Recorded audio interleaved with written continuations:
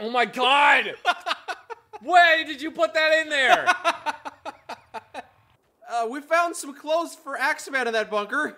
I want that backpack. Give me your backpack. You're gonna take his. That's his backpack. I don't give a shit. It's my backpack now. I want it. I'm the one with the gun. He's got an axe. I don't care. Axeman is always ready for action. Uh, While we were down there, we also found a note. a note. Oh yeah, it was this one. The note's just kind of hovering. It was attached to a spear, but I grabbed the spear. Courier, we need to talk. Bring your from two. I'll be waiting here. A map of the canyon is drawn after this with a red X at a specific point. C. Okay, X marks the spot. Let's go visit. Why was six afraid of seven?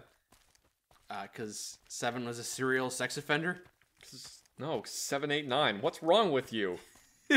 well, uh, why did Seven eat Nine to begin with? It's a pun, Mike.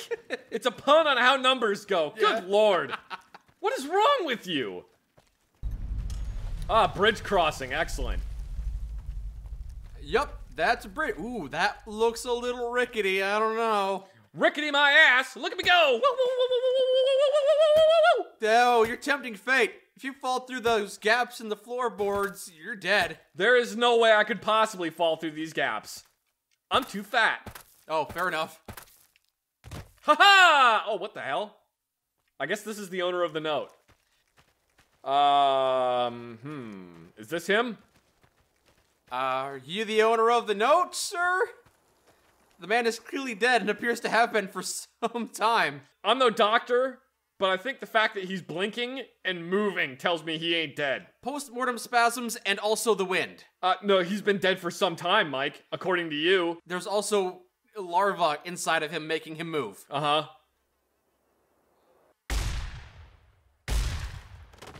No, see, I crippled his head. He's fine. No, no, no, no. He's dead. He's definitely dead.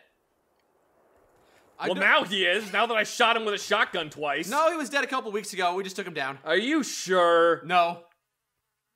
All right, well, let's just dispose of the body. There's a there's a bunch of graves right here. You could put them alongside Yep. those. All right, all right, all right. Why would I do that? Who crucified this man anyway?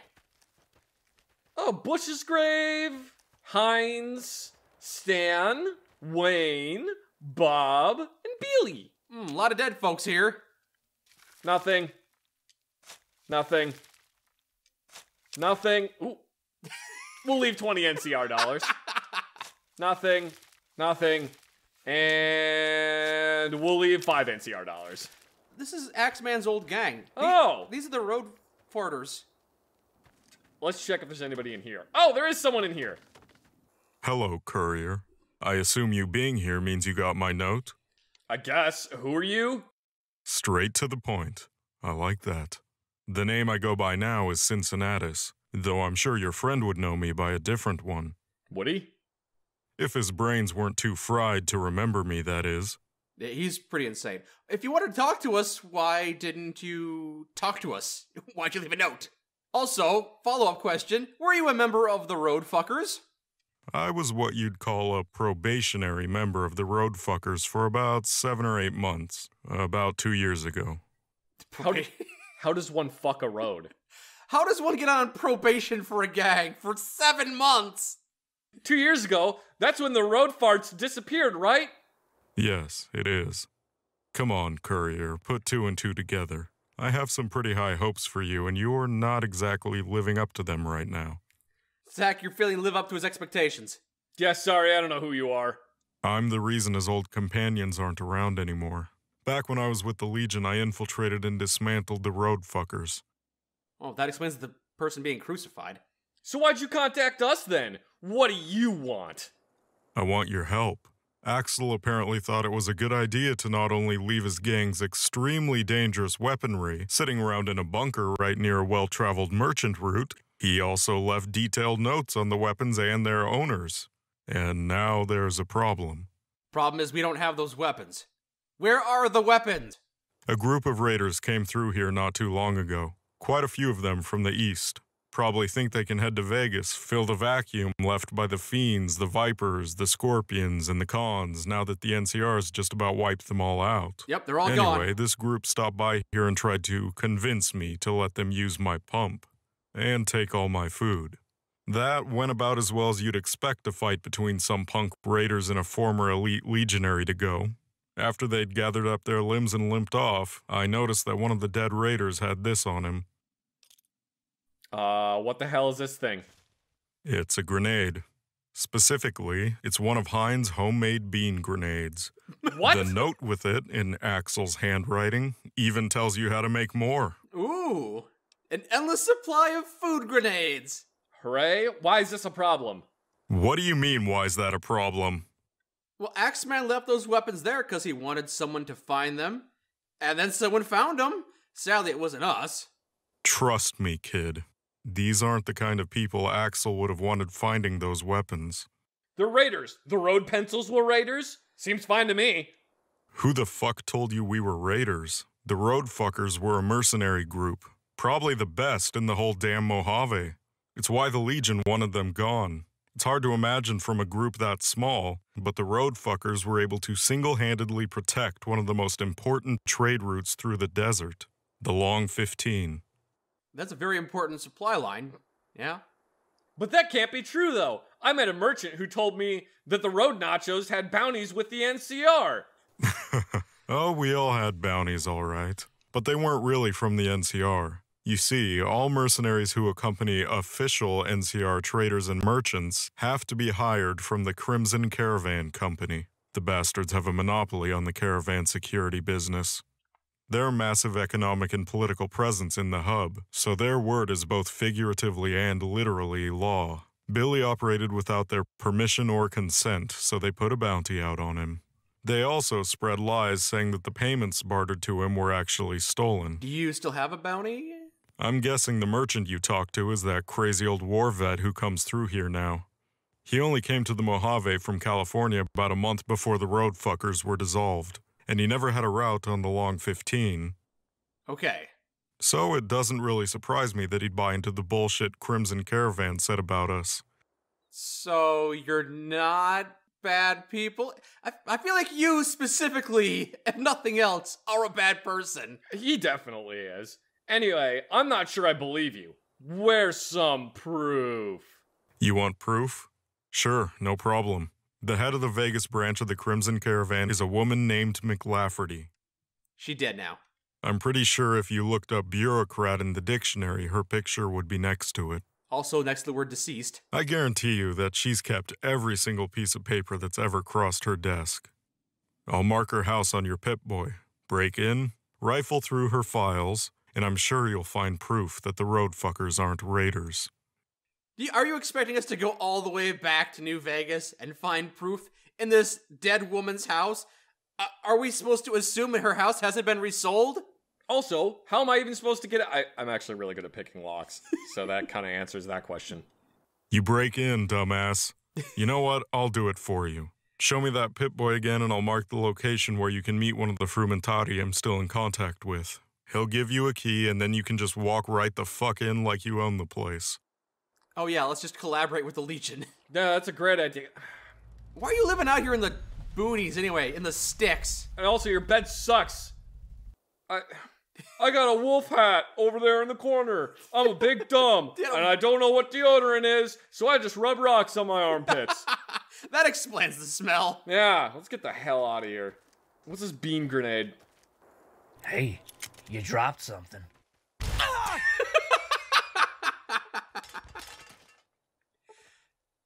He's unfazed. Apparently, he doesn't care, and I just used my only bean grenade. He's built up an immunity to beans. Damn it! he built up an immunity by eating tons of beans. Beans, beans, the magical fruit. The more you eat, the less likely you are to get exploded by a random passerby. it doesn't really rhyme, but I mean, whatever. What, what do you require to make those bean grenades anyway? 50 grains of pistol powder. 50 grains? Just a little pistol powder then, huh? Yeah, some pistol powder. Alright. We finally have a use for pistol powder. I never knew their real names. The names they used were taken from two fairly common brands of pre war canned beans. That's quite a long note. Yeah, this is a pretty long one. Alice McLafferty's residence. Yeah. Look at this man, gonna blow him up with a bean grenade. Oh wait, no, this is the guy we gotta talk to. Oh, that's the Frumentari contact. Can't play guitar now, sucker. Is there something I can help you with, sir? Ugh. I hate you. Are you the guy Cincinnatus wants me to meet? Shh. Not so loud, you idiot. Right, right. Oh, right, we're in NCR territory and you're undercover as a Legion member. I forgot, I'm sorry. The NCR? Those morons won't even know what Frumentarius, even if one did kick them in the nuts. So if you're not afraid of the NCR, why the hell do I need to be quiet then? Because if another spy hears us talking about Mr. C, I'll be in big trouble. You see, there's a kill on sight order for him, and for anyone found helping him. Yeah, we should have killed him on sight. So he's really not with the Legion anymore. No, he went AWOL almost two years ago, right after he was involved in some big undercover operation out in the desert.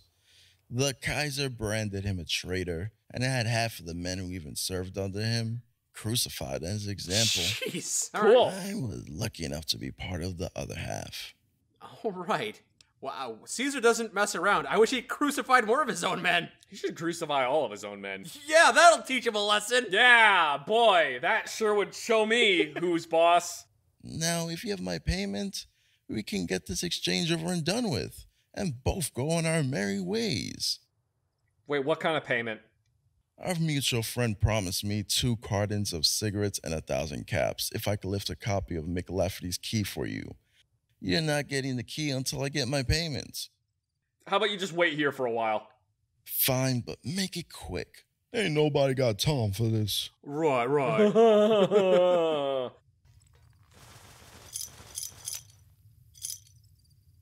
Did you acquire my payment? Give me the key or I'm turning you into the NCR. Look, there's no need for that. You can have the damn key, and I could be back on my way to the camp and away from your precious NCR. Looks like he's a scared after all. Take that, Mr. Frumentari. Mr. Frumentari, standing right here. You want to do something about this dude? They're- No, uh, don't care. I'm on launch.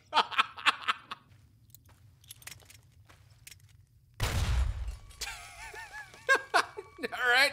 That grenade's not very good. And now it's time for a little B and E. Oh, I guess her house is over this way? I don't know. Why does she live in the Crimson Caravan compound? oh, maybe maybe she has the house, but it's just like a formality. She spends more time at work than the house. Maybe she's so rich she had a second home over here. Just she visits on summers. It's always summer here. or maybe she spends more time dead than she spends here. for tax purposes. Yeah. Oh, there it is. 500 caps. Wow, this is the only memo in here. What a coincidence! That's the one we needed. The- okay, so it's an internal memo regarding the mercenary group operating along the Long 15. They don't have permission to operate in the area. They're not affiliated with Crimson Caravan. Any payment to said group is written off as plunder. Any employee found to accept to have accepted assistance from them is to be terminated and served with a non-disclosure order regarding the incident. Bounty offices for all known members are supplied east of the hub. Blah blah blah. I really, it's again, what lawyer is going to be like? Yes, I'm going to serve this non-disclosure charge. Well, there are lots of bureaucrats in the NCR. California is a lot more like pre-war than you might think. What are we doing anyway? We're going back to talk to Cincinnatus. Don't tell him that we killed his contact. Oh, okay. So, did you find any proof at McLafferty's place? Found a memo that says the Road Oranges weren't raiders. Told you. Now will you help me? Sure, I guess. Why do you care about the weapons anyway? I just do. So are you going to help me or not? Yes, I said I was going to. yes, let's pretend to help him for the time being. Right into your grave for what you did to that. No, I'm just kidding. I'm just kidding. What should we do first? I may not be with the Legion anymore, but I still have some influence with its spy network. The group that came through here splintered once they reached Vegas. It seems like each of the splinter cells is being led by someone using one of the road fuckers' old weapons. So for every person we kill. So that's pretty convenient, I guess. Here's where one of the groups is. I don't know which weapon they have, but whichever one it is, get it back from them and bring it back here. By the time you do that, I should have gotten info on the next one. All right. So bounty hunting. I'm down for that. Wait a minute. Why should I bring the weapons back to you after what you've done? You're not bringing them to me, you're bringing them to them. What? Oh, I'm bringing it to the dead people. Oh, we're and I'm gonna, bury put- it with them? That sounds stupid. What if I want it? And also, what's gonna stop somebody from grave robbing them? Whatever, we'll play along for now. I'm glad. Now get out there and try to keep Axel from hurting himself if you can. These are. Uh, That's easier said than done, my friend. Oh, I must say, the sunset is quite pretty. it is pretty nice. It's also fairly serene. Not a lot of commotion out here. This is a lovely area. Indeed. It's nice and quiet and peaceful. Not too hot, but not too cold. clang, clang, clang, clang, clang. Rag, rag. You have defied Kaisar for the last time. Your life ends now. You can't have a smoke break. I'm sorry, I'm sorry. I didn't know the union smoke break was over. Give me that.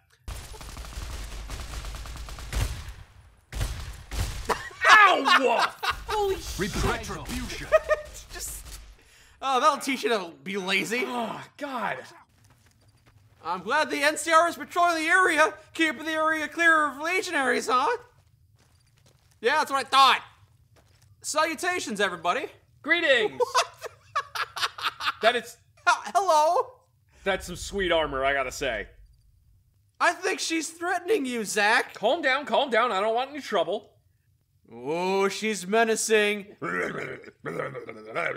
Hey, this guy with us is one of the real road farters. His name is Axeman. He's not gonna look too kindly upon you macking his style.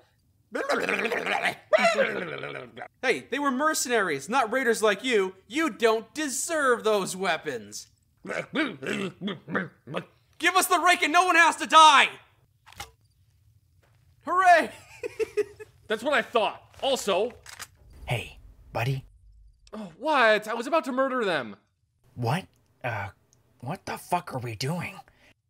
What do you mean? We're getting your weapons back. X-Man knows that. But who is that hobo that told us where to go? He seems familiar. Uh, don't worry about it, man. He's just somebody that wants to help. But who is he? X-Man knows he knows him. now we have to make a decision here. Mm, he's a friend. Let's leave it at that. If you say so. But X-Man is sure he'll remember who that hobo is. X-Man. Alright. Okay, cool. Anyway, Um, I like your helmet, and I like your poncho. Ooh, and I like your helmet. Dang, yeah. these people all have cool stuff. Uh, time to die, Reggie. Okay, looks like it's time out. for an onslaught. Hmm. Got some distance on that one. Box helmet. Wait, where is it? No! Ah, it's surgically grafted to her No, face. the box helmet! My gas mask and poncho. I am Poncho Man. Poncho Man. Poncho Man, wearing a poncho, doing poncho things. It's Poncho Man. Poncho Man, the poncho makes him inflammable. Yes, that's what does it. Uh, so about that weapon we picked up, the sideshow. Do you want to use it? It's Bob's rake. Sideshow. Oh, Sideshow Bob. yeah. All right. that is definitely a rake. Why are you holding it with your wrists? That's how you hold rakes, right? What's wrong with you? What? You act like you've never raked before. I've used a rake plenty of times, and I never used one like that. Ah, you must not have been doing it very well then. All right, let's just go back and tell him that we found the rake and then buried it.